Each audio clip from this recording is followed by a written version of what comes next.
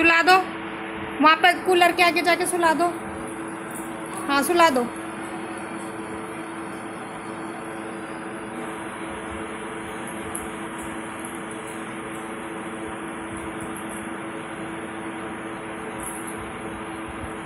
सुला दो सुला दो।